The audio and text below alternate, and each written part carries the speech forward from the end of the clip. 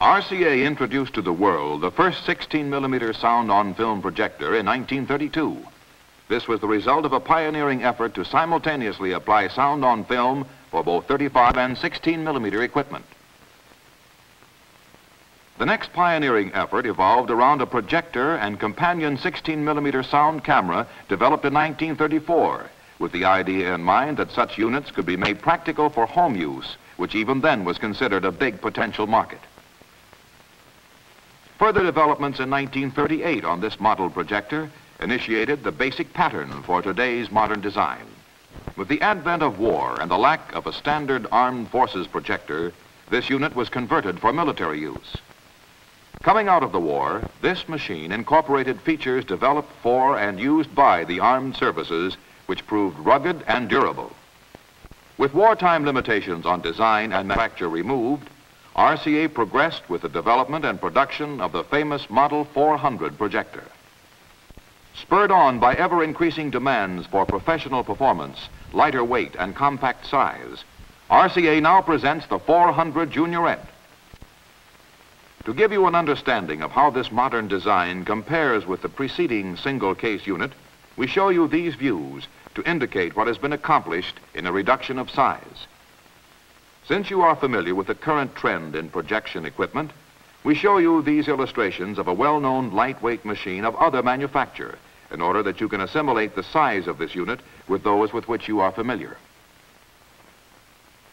This view indicates the relative proportions of the Juniorette with still another projector of different manufacture, utilizing an inbuilt speaker and which has been in use for some time.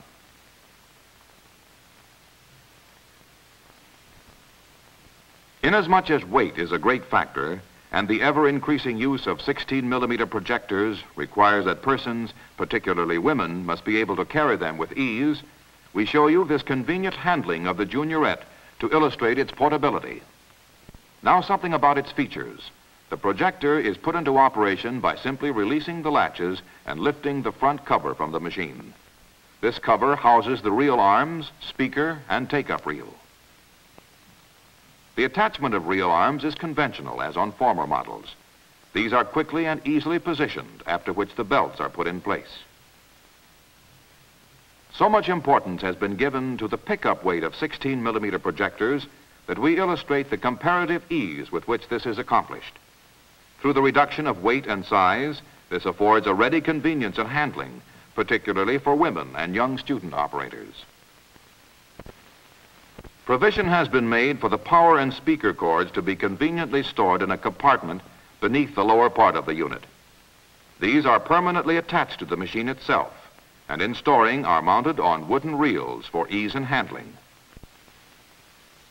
Through the use of a thin cable and standard plugs, the speaker is easily and quickly connected to the projector. Standard lamp and motor switches for operating the unit are conventional. A smooth, positive tilting adjustment is accomplished through this convenient fingertip control.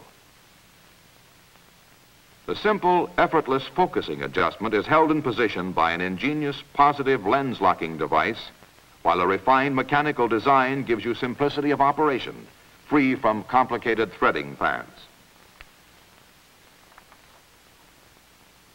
Fingertip theatrical type framing is included and has been repositioned for easier access to this unique feature. A small compact amplifier with a remarkable power output is housed behind this control panel and is activated by an on-off switch, while the tone and volume is centrally controlled for the finest quality sound. As an extra convenience feature, provision is made for the attachment of a microphone or record player this can be done without the use of special connecting plugs. Brilliant pictures, superlative sound, and ease of operation are combined for your audio-visual pleasure in this, the RCA 400 Juniorette.